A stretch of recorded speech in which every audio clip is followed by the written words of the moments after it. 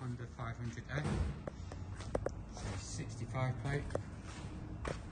Really low mileage on it. Of 4,829.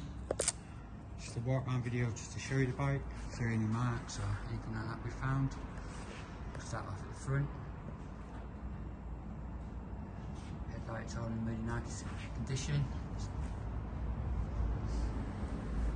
no marks on there or anything like that. Again, are all really nice.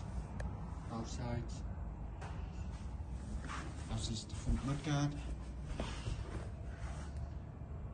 The wheels in nice condition, along with the disc brake. Headers are nice.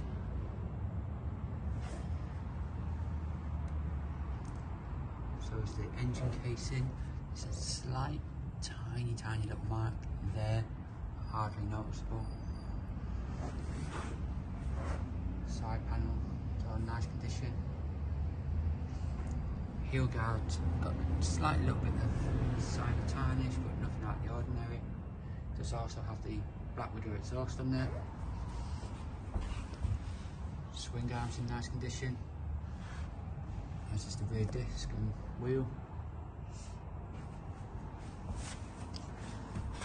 Rear panel, nice condition. Original rear lights. Chain and sprockets in really nice condition.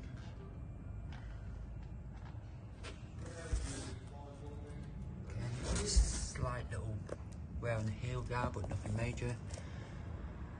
Engine case on this side's nice as is the side panel. There's a slight, slight little, hard to see it to be honest, mark just there that looks like it's been touched in, little stone chip. Again, mudguard this side, front wheel, all in really nice condition.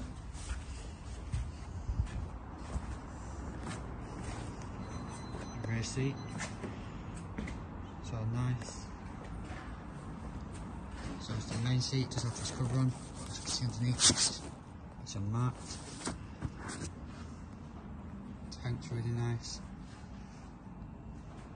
Are the handlebars and the mirrors.